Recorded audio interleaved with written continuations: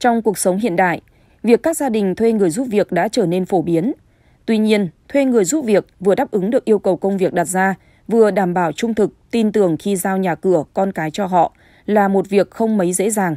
Đôi khi lại mang họa khi bỗng nhiên họ nổi lòng tham. Mới đây nhất, một phụ nữ tại thành phố Huế đã bị trộm lượng lớn tài sản, gồm tiền, vàng trị giá hơn 300 triệu đồng sau 2 ngày thuê người đến nhà giúp việc thông qua mạng xã hội.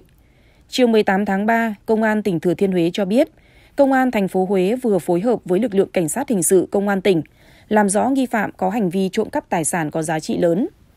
Trước đó, chị C trú tại Huế đến công an phường Trường An thành phố Huế trình báo bị mất trộm tài sản gồm tiền, vàng với giá trị trên 300 triệu đồng.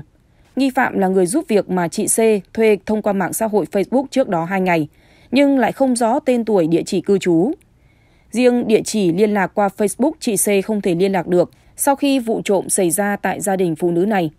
Qua điều tra, công an xác định Phạm Thị Lệ Tê, sinh năm 1994, trú tại tỉnh Quảng Trị, người do chị C thuê làm giúp việc là nghi phạm, nên tiến hành bắt giữ khi đang lẩn trốn tại quận Cẩm Lệ Đà Nẵng.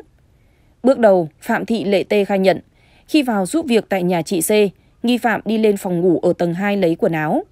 Tại đây Tê phát hiện túi sách đựng tiền và vàng để sơ hở trong thùng giấy. Nổi lòng tham, Tê lấy số tiền trị giá 13.900 đô la và lắc tay kim loại màu vàng của chị C.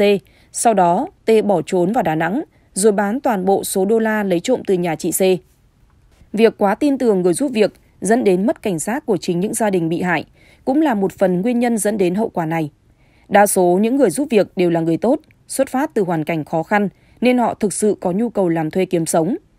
Tuy nhiên có những trường hợp đối tượng với mục đích trộm cắp tài sản đã sử dụng giấy tờ giả để lừa các trung tâm giới thiệu việc làm và lừa chủ nhà. Qua đây, khi có ý định thuê người giúp việc, các gia đình cần điều tra kỹ lưỡng về thân nhân, lai lịch để tránh xảy ra những vụ việc đáng tiếc như trên.